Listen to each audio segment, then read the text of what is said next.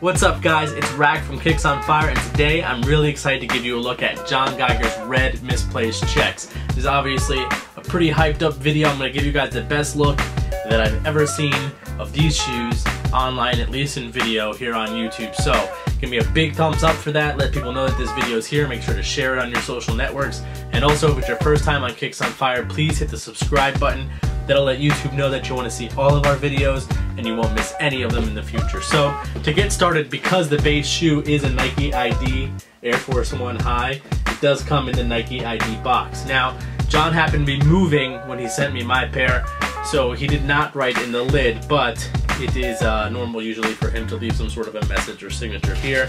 That would be the only difference really uh, between this and a standard, well it is just a standard Nike ID box. Then we've got the straps off to the side as well, they are included.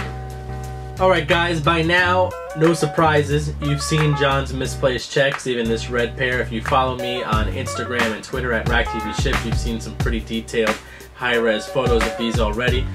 Follow us on Kicks on Fire on Instagram and Twitter, you should have seen a few photos as well. But I wanted to give you guys a chance to really look at them, look at the different swooshes up close. If you guys aren't familiar, these were a design that John had submitted to Nike and was rejected by Nike, and so he decided to do it on his own.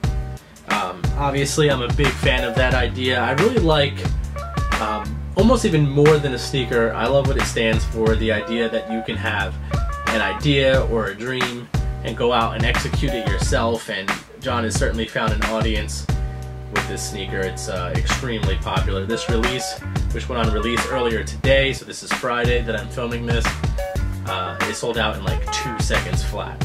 So really what I want to do guys, just give you a chance to take a look at it. It is for all intensive purposes an Air Force One High. It's entirely red.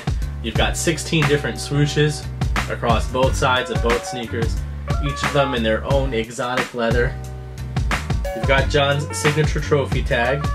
Then on the tongue you can see they've done a custom tag about the front and the inside of the tongue. So there were 60 pairs produced in this release. This is the second release of the red misplaced checks. That's gonna do it guys. I just wanted to make sure that I gave you a quick look on video. There are not a lot of videos of these on YouTube. Again, make sure you hit that thumbs up button to share with your friends and your social networks. I'm going to include some detailed photos as well, so if you're not watching this on Kicks on Fire, head over to Kicks on Fire to see those. And make sure that you're following us at Kicks on Fire on Instagram, Twitter, and me personally on Instagram, Twitter, and Snapchat at RackTVShift. Also make sure that you have the Kicks on Fire app installed so you don't miss anything like this or any of the big release dates coming up. Real cool sneaker. Thanks again, John. I'll see you guys on the social networks.